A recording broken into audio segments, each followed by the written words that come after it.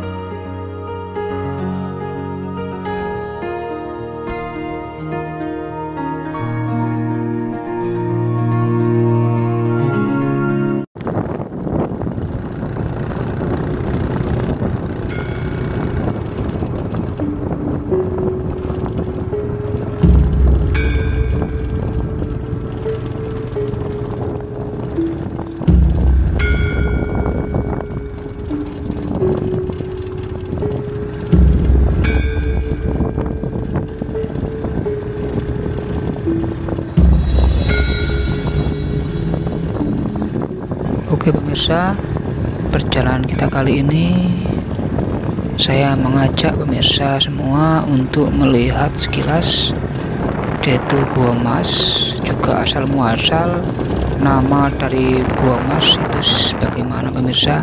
Ayo kita sedikit menggali informasi dari warga setempat yaitu di Dusun Rawatrate. Juga kita akan melihat mereview bagaimana situasi suasana yang ada di Gua Mas saat ini pemirsa.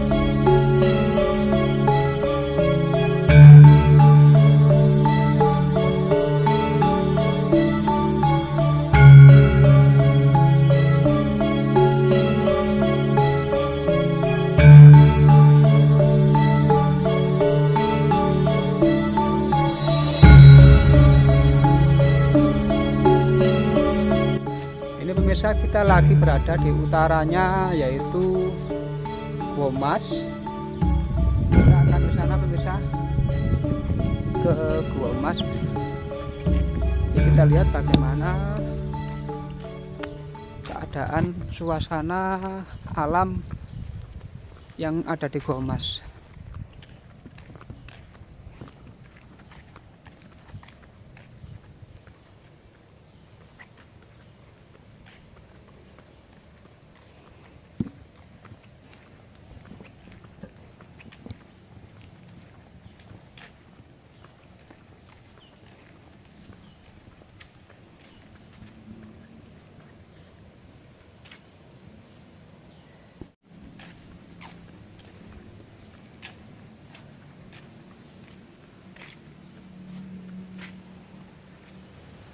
Seperti ini pemirsa. Penampakan dari Gua Mas. Ini kita lihat dulu penampakan dari keseluruhan mulut Gua Mas. Ini kayak tebing tinggi seperti ini pemirsa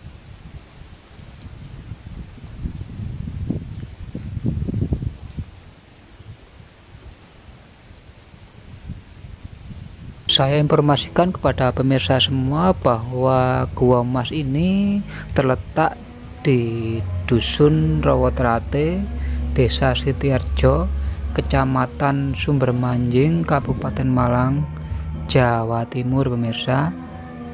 Jadi di antara dusun apa Rawotrate sama Telatah Tumpak Awu ya. Ini dia berada di tengah-tengah dari Kampung Tumpawu sama Dusun Rawotrate. Seperti ini kondisi yang ada di sini suasananya kita bisa melihat sendiri. Seperti ini pemirsa.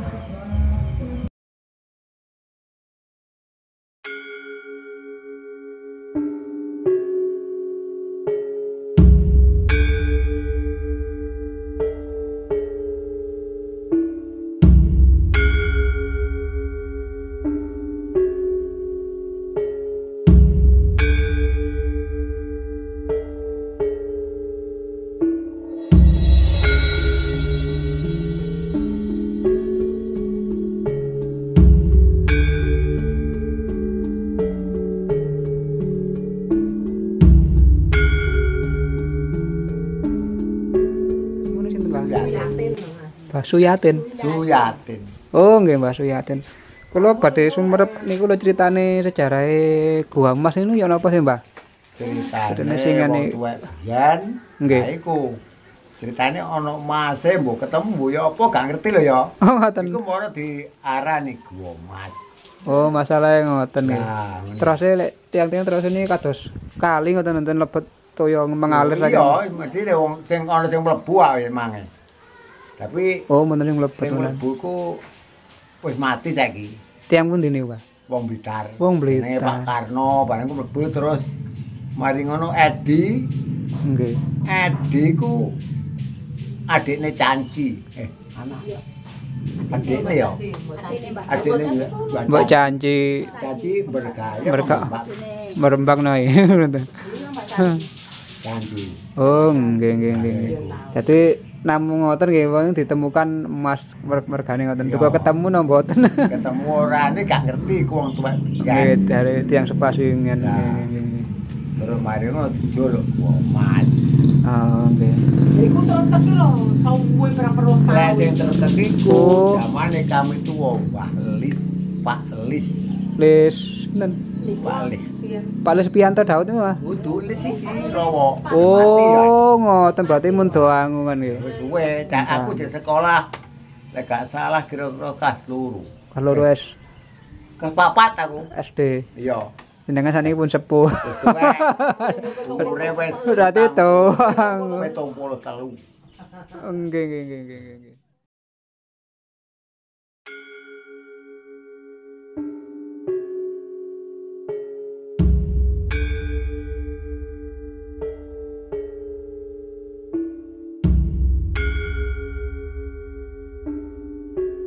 Seperti yang telah diinformasikan oleh Mbak Suyatin tadi bahwa nama dari gedung mas ini muncul terjadi karena dulunya zaman mbah-mbah dalam kakek neneknya dulu itu pernah terdapat emas di dalam itu.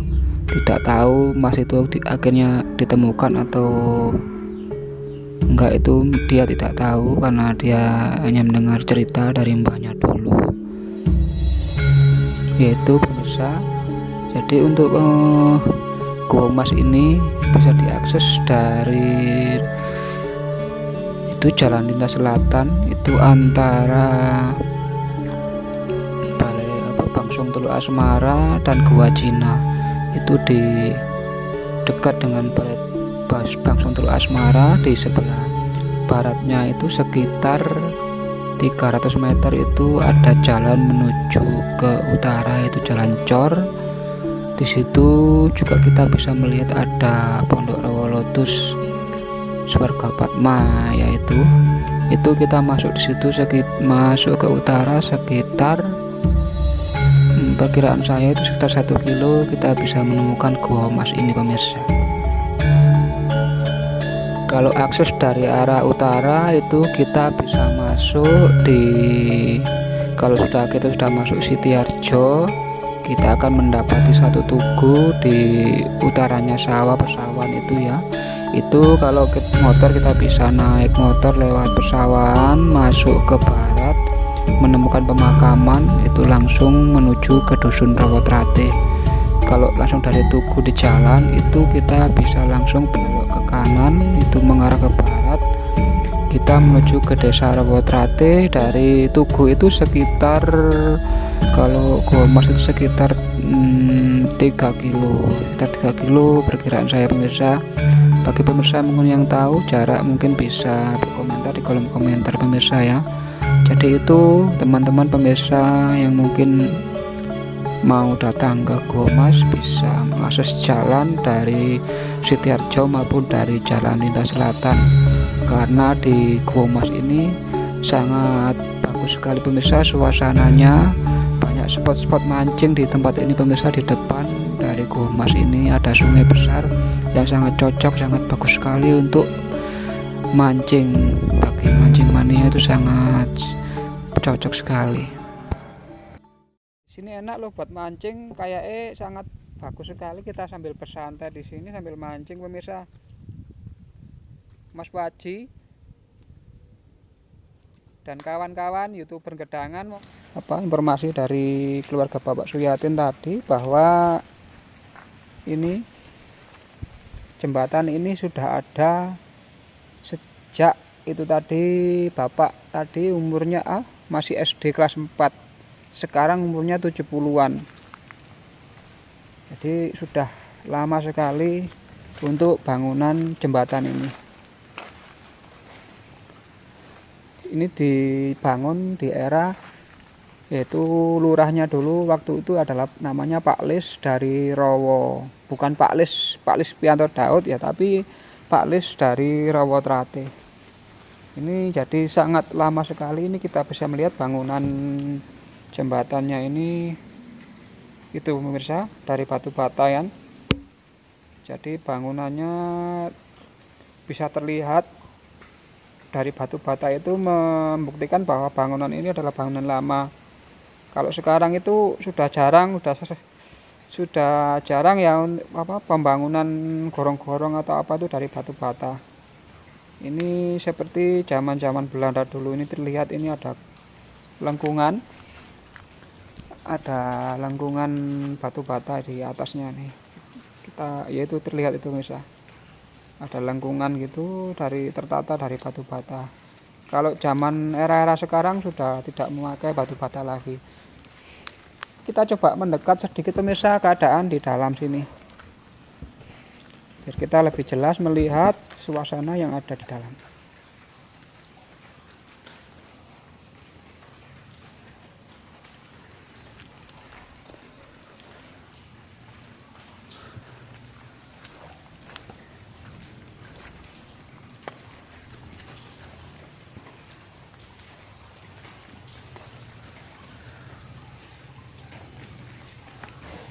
Oke, ya seperti ini ya.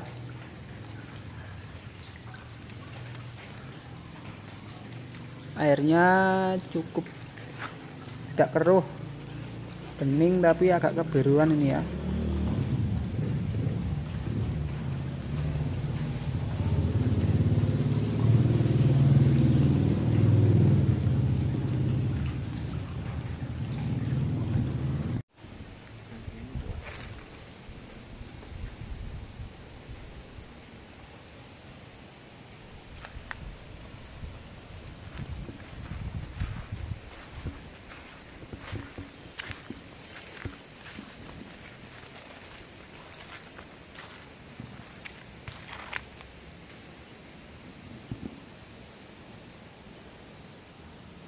Ini suasana yang ada di sebelah baratnya Gomas. Tepat ya. Berada di sebelah, sebelah baratnya Gua Mas di depannya. Tepatnya berada di sungai. Ini air yang mengalir dari Gua Mas bertemu langsung dengan sungai yang ada di Sitiarjo ya sungai yang bermuara di Ungapan. Seperti ini kondisi kita lihat. Ini pemirsa enak sekali. Di sini kita bisa bersantai. Kita bisa melihat air yang sedikit keruh dan air yang bening dengan nuansa kebiruan. Mantap pemirsa. Di sini enak loh buat mancing. Kayak eh sangat bagus sekali kita sambil bersantai di sini sambil mancing pemirsa Mas Waji dan kawan-kawan youtuber gedangan monggo kalau mau ke sini Mas Togun Mas To Bendol ya. Ayo Mas To Bendol monggo. Datang ke sini nanti saya antar. Ayo para youtuber youtuber gedangan kami tunggu ke sini ayo.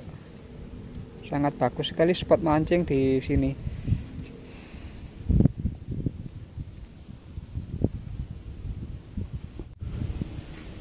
Oke seperti ini pemirsa ya. Di sini sangat enak sekali buat kita mancing maupun kita bersantai. Ini sangat bagus